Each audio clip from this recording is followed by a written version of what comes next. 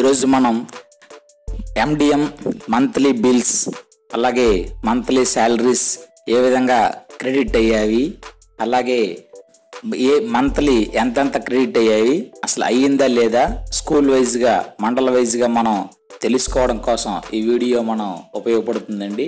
దీనికోసం మనం https APMDM dot APCFSS dot in slash MDM public reports seventeen slash dashboard dot do అనేది మనం తీసుకున్నట్లయితే ఆ లింక్ నేను డిస్క్రిప్షన్లో ఇస్తానండి.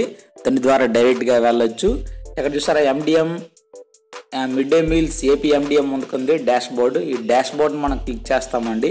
ఈ డాష్ బోర్డ్ని క్లిక్ చేసిన వెంటనే మనకు ఏ విధంగా ఎండిఎం మీల్ స్కీమ్ అనేది మనకు ఓపెన్ అవుతుందండి ఎండిఎం స్కీమ్ ఓపెన్ అయ్యిందండి. ఇక్కడ district wise expenditure report R one అనేది మనకు ఓపెన్ అయ్యింది.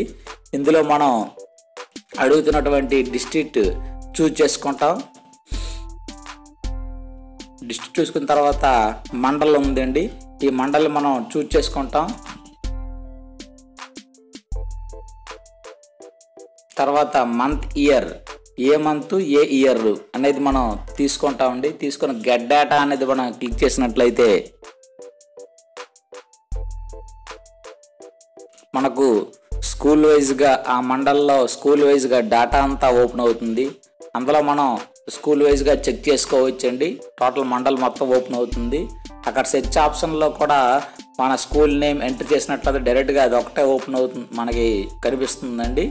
అక్కడ అలా కాకుండా మనం ఈ విధంగా స్కూల్ వైజ్గా చెక్ చేసుకునే అమౌంట్ మీల్స్ టేకెన్ అలాగే టోటల్ అంతా కూడా మనకు కనిపిస్తుందండి ఇక్కడ.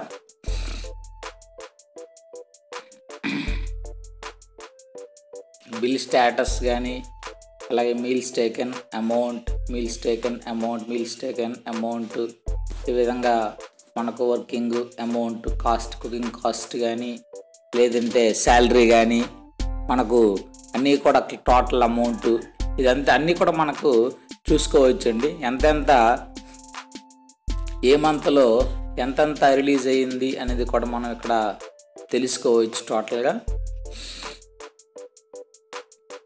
కొంతమంది ఎండిఎం వాళ్ళు ఏ మంత్కి ఎంత పడుతుందో తెలియట్లేదు. టూ మంత్స్కి వన్ టైం పడుతుంది త్రీ మంత్స్కి వన్ టైం పడుతుంది. వాళ్ళకి ఏ మంత్లో ఎంత వస్తుంది వాళ్ళకి తెలియదు తెలియలేదని చాలామంది అంటుంటారండి.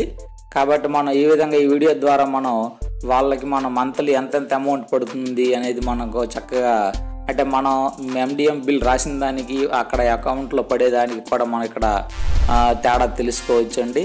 తెలుసుకొని ఏవైనా తప్పులు ఏవైనా ఉన్నట్లయితే మనం కంప్లైంట్ చేసి వాటిని రెక్టిఫై చేయొచ్చు.